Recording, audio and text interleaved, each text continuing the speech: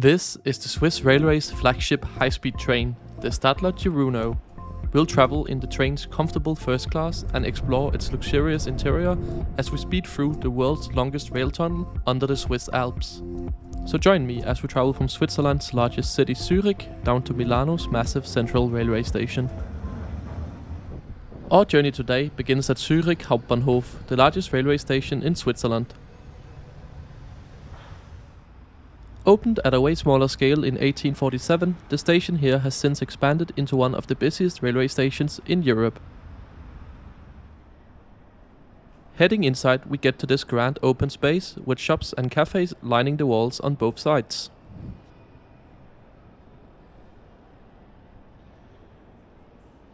Definitely a great place to wait for your train if you're a bit early. On the side corridor is also where you'll find the station's main ticket office. And at the time of filming, there was also this cool piece of artwork installed. The station has 10 underground tracks, but usually the trains to Milan will leave from the upper level ones.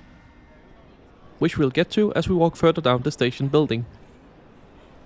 This is also where you will find the station's main departure board which is also an excellent showcase of just how busy and frequent Switzerland's railway network is.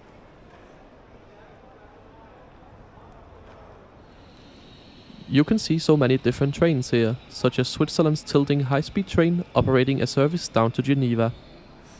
Local and regional services using a variation of older and newer rolling stock.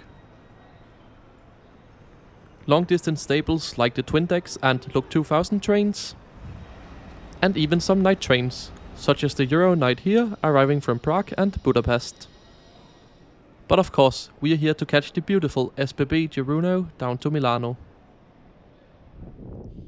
Built by Swiss rolling stock manufacturer Stadler as part of their Smile high-speed train family, they are capable of speeds up to 250 km per hour.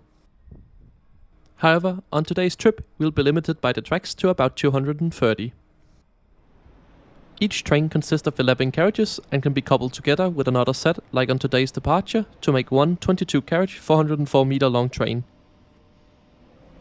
Right, let's go to Milano. I am today seated in carriage number 11, which I've booked a seat reservation for in advance, as all trains on the Zurich to Milano route requires these.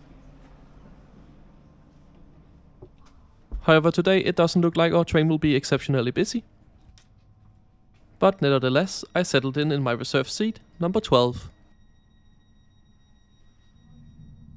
Our train departs right on time at 11.33, following one of Austrian Railways railjet sets bound for Vienna and Budapest.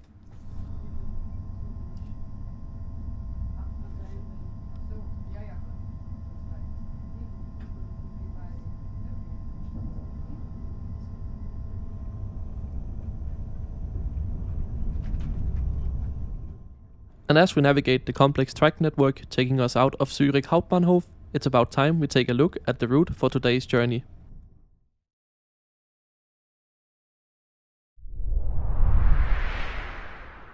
We are catching Eurocity 317, which starts at Zurich Hauptbahnhof and then makes stops in Zug, Arth-Goldau, Bellinzona, Lugano, Chiasso, Como San Giovanni, Monza, and Milano Centrale – our train will cover the distance of 256 kilometers in 3 hours 17 minutes, giving it an average speed of 77 kilometers per hour. Despite our train being high-speed capable, the low average speed can be contributed to most of the route the train travels along being legacy railway lines with speed levels far below the 250 km per hour max speed of the train. Our first stop is Zug, which is the German word for train, but unfortunately, the town doesn't get its name from being an important railway junction, but rather translating to the word pull or tug, a reference to the fishing in the nearby lakes. And as we continue along the beautiful lake, let's take a closer look at the seat. First class comes in a 1 plus 2 layout, and I'm seated in one of these comfortable solo seats. Every seat has a tray table that extends like this, and it's really sturdy. You'll also find a small pocket here for storing smaller items, as well as a bin, a small drinks table, Under the armrest, you'll find two power outlets, one Italian and one Swiss style. The armrest is really comfortable and well padded, and the same for the pillow in the seat. The ergonomic design strikes a perfect balance between softness and design, which makes for a really comfortable ride. Our next stop is Bellinzona, which will also be the last one before crossing under the Alps.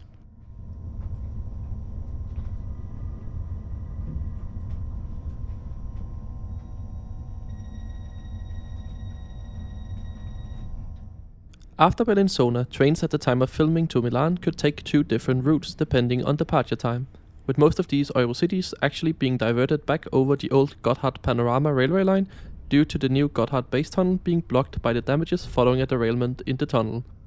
This meant that most services to Milan took an hour longer, but the tunnel has now mostly been repaired and normal service will resume on the 2nd of September with all trains going through the tunnel. As we pass through Altdorf station, this is where our train will begin to accelerate towards the maximum speed in the tunnel of 230 km per hour. As we speed up, we pass over the junction, taking trains up to the old Gotthard Pass, which still sees local trains once all the high-speed ones will use the tunnel again. Opened in June 2016, the Gotthard Base Tunnel is both the world's longest and deepest railway tunnel, taking 57 kilometers to cross the Alps at depths of down to 2450 meters, which starts right here. But as there isn't much to see inside the tunnel where we'll spend the next 20 minutes, let's instead have a look at the train's interior. We'll start up here in first class, which comes in this 2 plus 1 interior, featuring comfortable, stylish seats, large and clear information screens, ample space for luggage both above, under, and by the doors. Continuing on, we'll find more first class, again with a similar layout.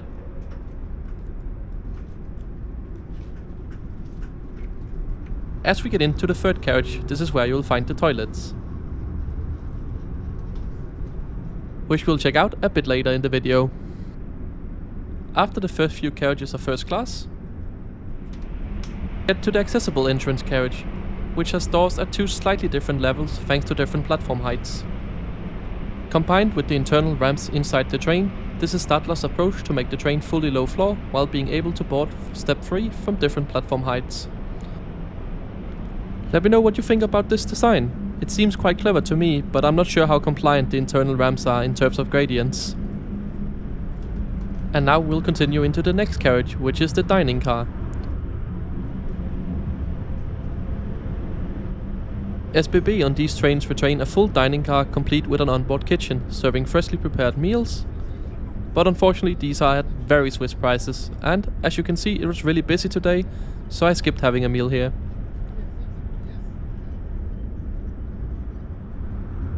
On the other side of the standard class carriage, we'll find the second class accessible carriage, which has a similar layout to the one in first class, and as we get a bit further down, you get the regular second class in a 2 plus 2 layout with these comfortable seats. Here you'll also find these excellent displays throughout the train, and you can see we're running close to a maximum speed of 230 km per hour. Also in second class you will find one children's area. It just has some cool painted walls like this, but the seats remain the same, with standard amenities such as PowerPoints, and tray tables. Similar to Japanese Shinkansen trains, on board these you will find both a urinal as well as two regular toilet cubicles. So let's go check them out. The doors are sliding and can easily be locked using this knob. The toilet itself was clean and fully functional with good sensor placement. And the flush is working, so I'll give SBB a thumbs up. Another good thing on these trains is the Wi-Fi. But unfortunately to use it, you do need to either create an account or use your phone number to get a one-time code. But once connected, you're offered some pretty good speeds. And just as I've completed showing you the interior on Wi-Fi, we have crossed under the Alps. And what a contrast the mountains can create. It was a lovely sunny day on the other side. But the dramatic clouds cutting through the mountains is also a bit of a vibe. The rest of the journey down to Milan from now on is fairly uneventful. We make our stops first in Bellinzona, followed by Lugano, with Chiasso being the last one in Switzerland. The station is set up to allow for border and customs control to take place. However, as both countries are part of the Schengen free travel zone, they only happen on a spot check basis. Immediately after departure, our train crosses uneventfully into Italy, with the border being somewhere along this platform. Our first stop in Italy is Como San Giovanni near Lake Como, and from here it's just under 40 minutes further till we begin the approach into Milano Centrale. And I have to say, these are some truly excellent trains. They are well thought out, have all the amenities you need, and are very comfortable, with the train being very quiet and offering a smooth ride. And despite these trains going through Switzerland, known for its notoriously expensive trains, it's actually possible to get some pretty cheap tickets on these trains if you book in advance on the Trenitalia website, with second class going for as low as 26 euros and first for 62. However, as I was traveling on an Interrail pass, I just had to make a seat reservation for 13 euros, which can be done online through Rail Europe. And here we are, pulling into Milano Centrale right on time at 1450. What do you think about these Swiss high-speed trains? Let me know in the comments below.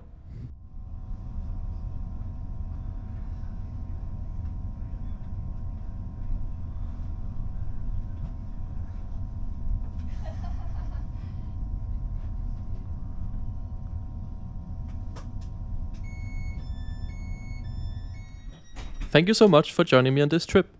If you want to see more videos like this, make sure you are subscribed to the channel as I try to post a new one every Sunday. You can also follow me over on Twitter at IntercitySimon.